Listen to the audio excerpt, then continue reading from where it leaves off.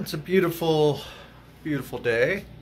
It's my little pile over there I've been trying to clean out. Uh, believe it or not, we had snow like yesterday, like two inches, and now it warmed up and it's all gone, but it's going to be a mess. But we're cleaning that little area up, little burn pit out there. But today we are working on models not putting them together, but counting the pieces. Because a while back, I bought a lot of different kind of models here. And these are just a couple. I mean, I, I bought a lot. So um, I've gone through this one, uh, the Klingon Cruiser. It's all there. Um, actually, I found two of them in there, but the other one is a different brand and different kind of model, and this in, it wasn't in the right box, so that was really, really a mess. Uh, got this uh, U.S. Enterprise. It's all nice and sealed, so that's good. Uh, went through this Humvee. It's all there, and this World War II Jeep. It's all there. And then there's ones like these. I haven't gone through these ones yet. But like uh, you open up the Starsky and Hutch. He's like, oh man, cool. I mean, it's that's great. You know, it's sealed and everything. And then all of a sudden you got, why is there two of them in there? Then you start looking, it's like, what, what's going on? Black and so now I got to go through this and de determine why there is two cars in there. And I imagine just like everything else, um, haven't even gone it through these ones yet. The one-handed move here. See, like here, these are supposed to be in a bag, and there's something been popped out. So what I found out that uh, I got these at an auction, and I bought probably 50, 60 models. Well, here we go. We got two cars in this one. This guy, whoever had it, was he had to touch every model and he had to like either take parts off of them, add parts on. I don't know what you got. It's very frustrating because the auction house didn't really tell us that they were like this. So, yeah. I have to go through and hopefully, you know, I got the manual. But here, I got, here, now there's like two manuals in here. Dart Sport, and the Plymouth hardtop, and the Dart Sport. I mean, what the hell? I what about, and what is this? This is a this is a Plymouth. Yeah, Duster hardtop. So why the hell is this Dart Sport in there? Yeah, this is in. I, here's an El Camino, 68 El Camino. See, that's that's very good. But then he's like, well, I'm just going to go ahead and break all the pieces out of, you know, the pieces and just leave them for somebody to buy this and make them go insane trying to figure out what I have. I might throw some extra pieces in there or I might take one piece out to make it incomplete just to screw them over. Yeah. This is so time consuming. But yeah, that's why I'm going through this Porsche right now. This uh, Porsche 911 slant nose. Ugh. And some of these pieces, I don't know if they're pieces. Well, yeah, that's a piece. Like this, I don't know what that is. Looks like a maybe a mirror. Ugh, yeah, what a pain. Like, he didn't do the engine. Usually I found a lot of the engine parts were, like, mixed-matched. Um, but yeah, right now I haven't found one piece. Um, about almost all the way through it. Let's see, where where is the piece I cannot find? Yeah, that piece right there, the rear trailing. I haven't been able to find that one yet. But I don't know what it really looks like, because everything's red. So, yeah, things we got to do. Oh, and let me talk to you about, like, ones I've already gone through. Yeah, you know, death pile stuff here. I know we have an issue. That's a death pile issue here. Uh, yeah. Death pile issue here. Yeah. There's uh here's some of my GI Joes back there. And soldiers of the world. Okay, yeah. Need to go through some books. Here's my uh, vintage dartboard here that uh, doesn't work, but uh, that was supposed to be a project of mine that I know I'll never get to. But, oh yeah, I was talking about, uh, yeah, so all these here I've gone through, and there's like, yeah, there's like parts missing. Ah, oh, it's just so frustrating. Here, this one I think had like three different bodies in it.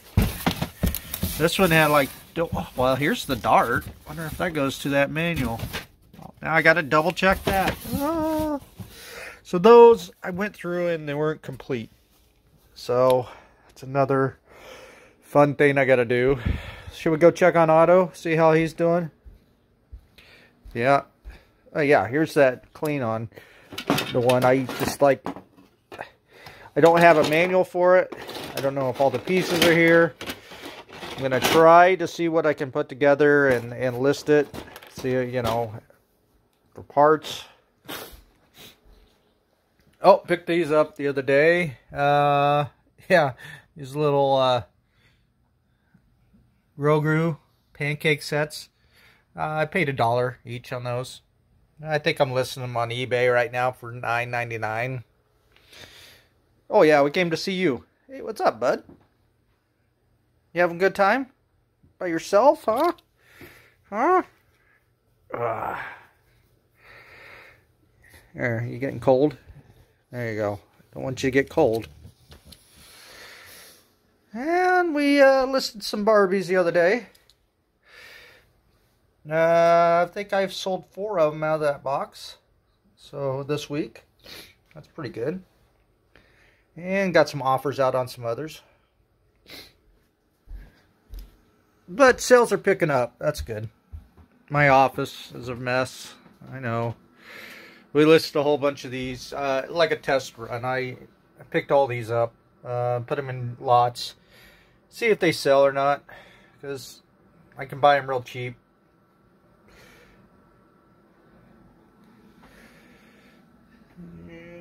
Yeah, some G.I. Joe figurines. My office. Everybody needs a tactical gas mask. Just in case, you know. You know how this government's going. Oh, got some Xena. Some Dungeon Dragons up there sealed up. Got my Japanese uh, dolls that I don't have them listed. I don't know. I'm kind of holding out on them till I actually have a place because I really don't want to ship them. They're they're beautiful, and that's actual glass, I think, too. Nope, plastic. I lied. Oh, and here's another. I'm gonna. I picked these up yesterday too. Uh, it's this uh, Korean uh, sauce. It expires here 2024, but uh, actually these were selling online. I picked these up for a buck, um, but a pack of three is like selling for 25 bucks. So I'm putting that on the auction uh, just to see what it does. Uh, I think I started out at 15, uh, or they could buy it for 25. And I might just list the other one. I don't, not sure yet.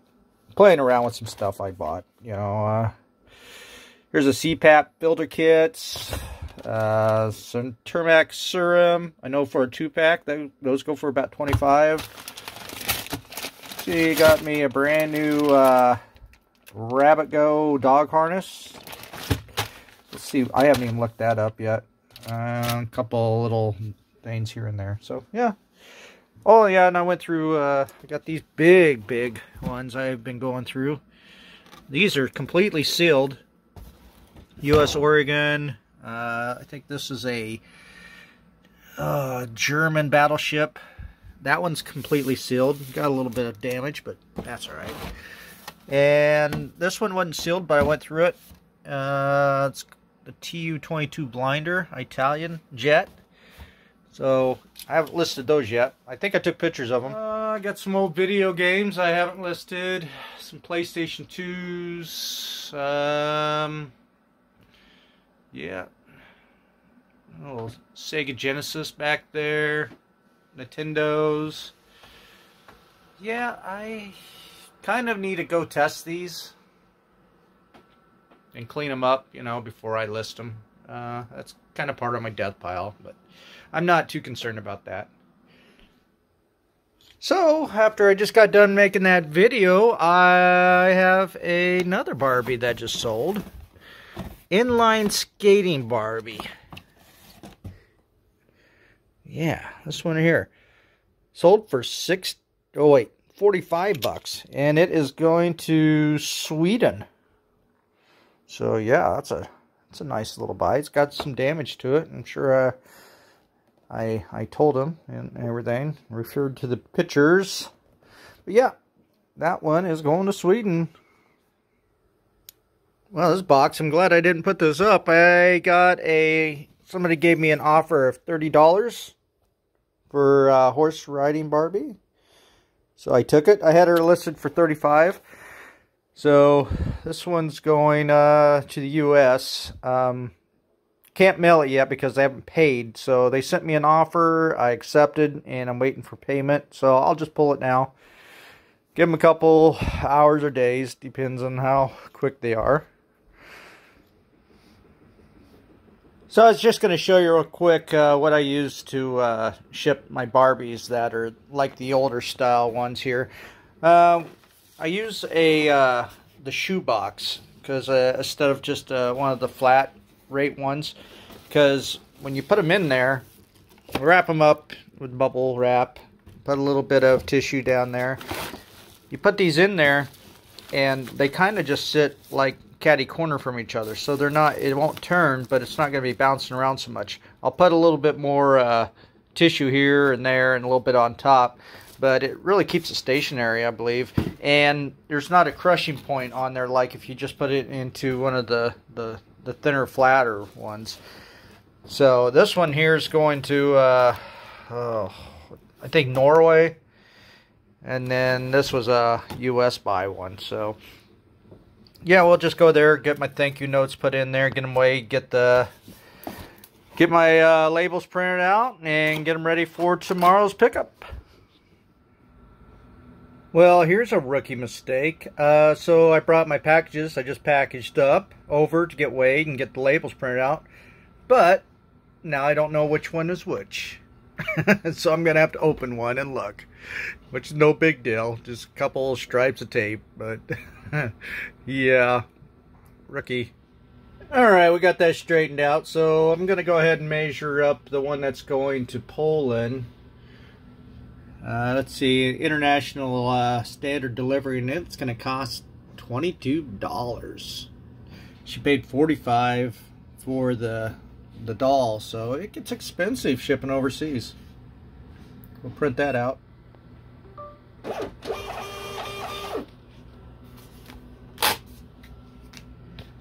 Mother Barbie's going to Tennessee, so it's not costing that much. Uh, let's see, priority mail. 882 uh, I do get a discount 29% we'll get that all printed out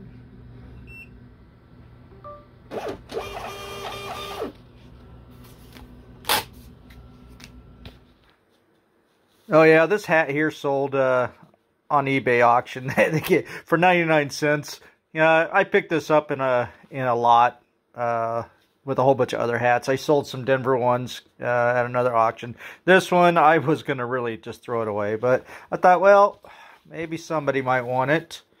It's the old foam snapback. Uh, the New Zealand All Blacks, which I didn't know what they were. But my buddy Ted actually knew who they were. They're a, uh, think a rugby team in New Zealand. So yeah, Ted doesn't know much, but he knew that, so I'll give that for him. Probably going to wrap this up, put a little tape on it. Well, wrap it up with some paper and probably put in a poly. bag to ship out. That'll probably be like four ounces, so that'll be easy one. Yeah, I threw that hat in here. Uh, let's see what it weighs. Oh yeah, right under four ounces. So hey, that's good. Let's get her printed out. Oh, what time is it? It's bedtime! Woo! Yeah. Where's it going, Mr. Pug? I didn't know you were in here taking a shower. You should have told me. I would have helped you out. Come on. Otto has a real special ability where if he finds anything dead outside, he will do a death roll in it. Like a crocodile roll. Yeah. We haven't found what he's rolling in yet. Well, this could be a daily event. Alright, let me finish this guy up. He's using too much hot water. Alright, bud? The sun is finally shining in Nebraska. It's been a pretty rough, rough winter. Uh, spring's been kind of pretty touchy. Uh, we haven't got too much good weather. Uh, sun's shining. Um, wind's blowing a little bit. Sun's shining, so we'll try to get a little a little something done today. Maybe, you know, I got a little project I've been working on. I got a lot of projects. I mean, since I've lived here in my little village for a little over six years, never have time to uh, do anything because I was always working seven days a week. So now I got the freedom to do what I want. And it's kind of like, now where do I start? so it's it's kind of overwhelming, I think, but uh, I just got to take it like little pieces at a time. So we're just gonna, me and Otto gonna go check the mailbox, and then I'll show you what I've been up to real quick. Hey, all right, Otto, where's the mailbox at? Look at that. He he almost got close. I gotta put my my coffee pot down. Well, coffee cup. No mail today. I gotta send out some packages tomorrow though. I'll give you a little quick rundown of my place. There's uh, there's this the old Methodist church. Doesn't see much action. Uh, this is my neighbor. She owns an old school over here. She doesn't live there. Um, she's uh, she's somewhere else. I don't know. It's a long history with us. Let's see, my truck. And the front of my uh, house here. I'll show you my little project I got here going. Alright, so I got two trees here. Let me back this up a little bit.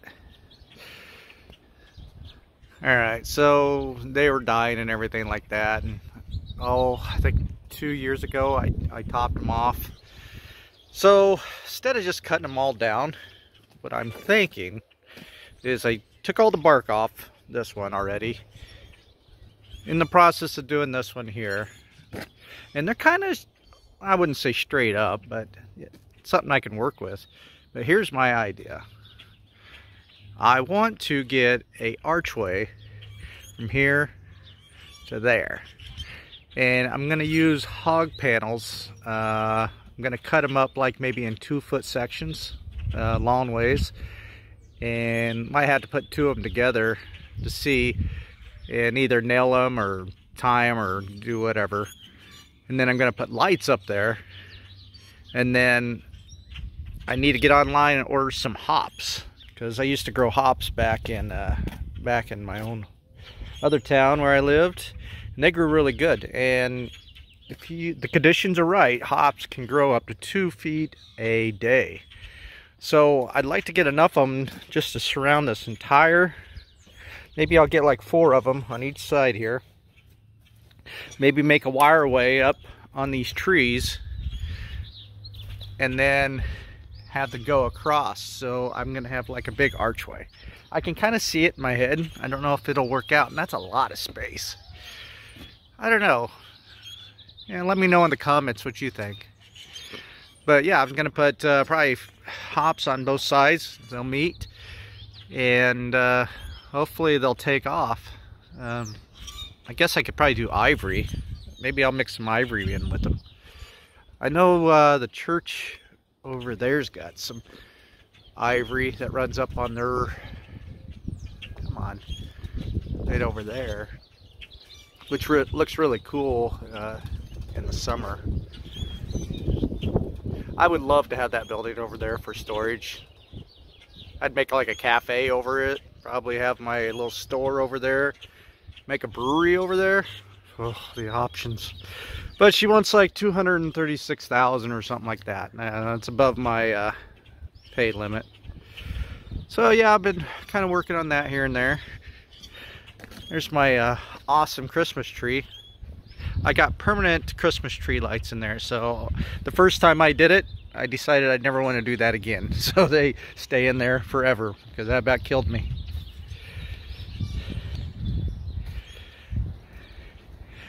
I got some chairs, so if anybody ever comes and sees me, it's nice. We can sit out here and have some adult beverages. What I'm thinking here is I'm going to take these little bushes out. Maybe over there too. And I'm thinking about pulling all those out. I got a lilac uh, tree here that I've been kind of working on. This thing was huge. It was like, went from here to here. I've been trying to work, I've been working on this for four years.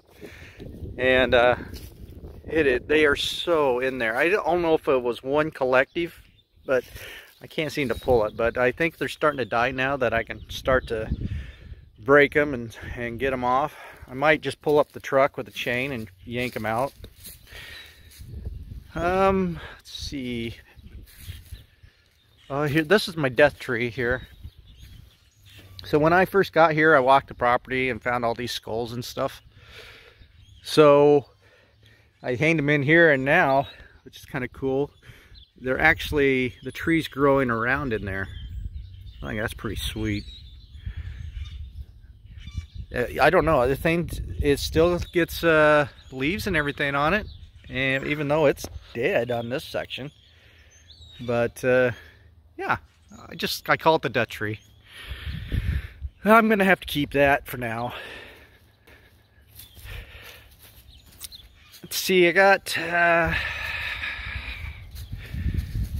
got a choke cherry tree here but I think I'm gonna take it down. This thing is so weird. If you look it gets this uh, almost like glass sap and all that stuff. That's crazy.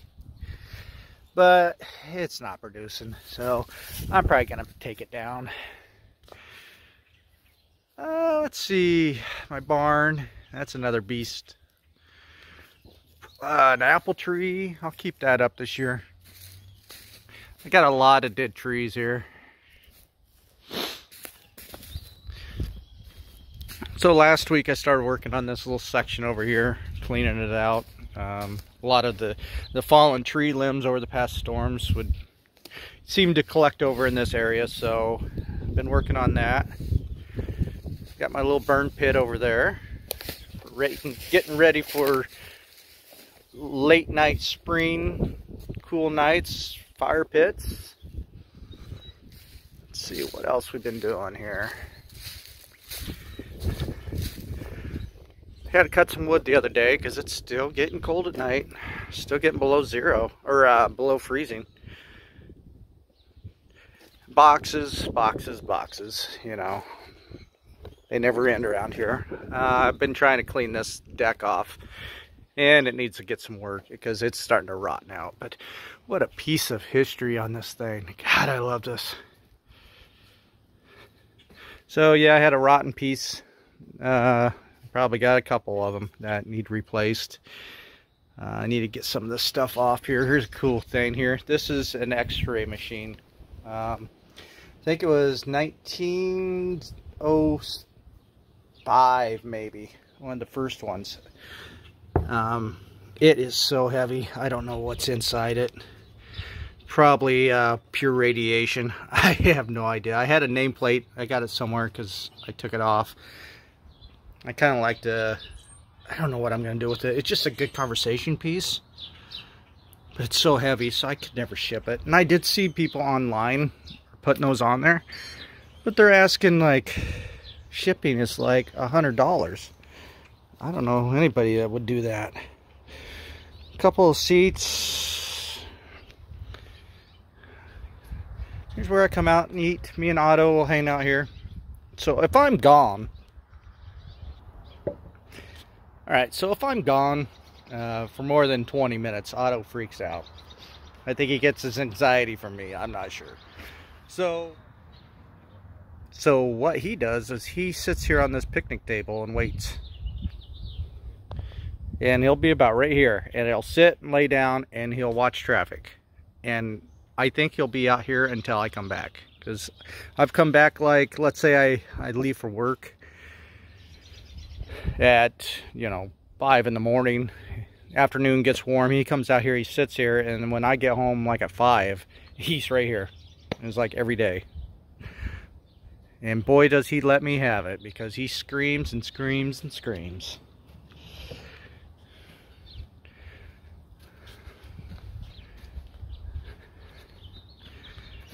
Uh, I don't know what I'm going to do with this tree yet. I just kind of got some uh, stuff leaning up on it some old sickles.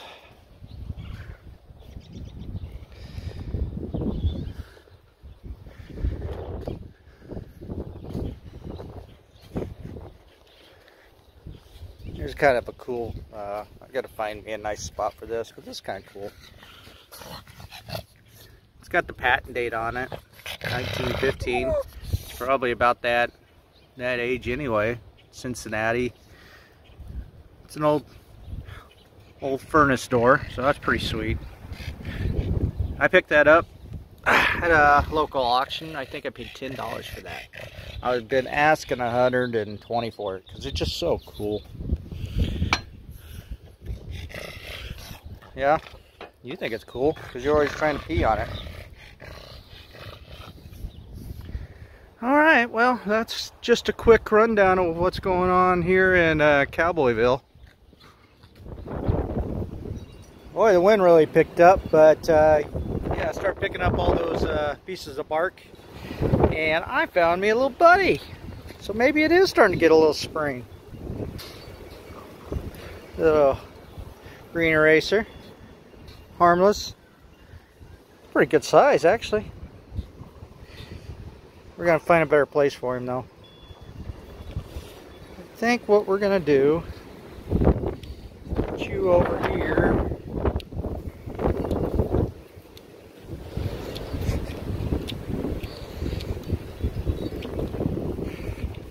First snake I've seen this year. It's a good sign. We're going to put him over here and spruces. And hopefully he can get himself down over there. Ah, he'll be alright.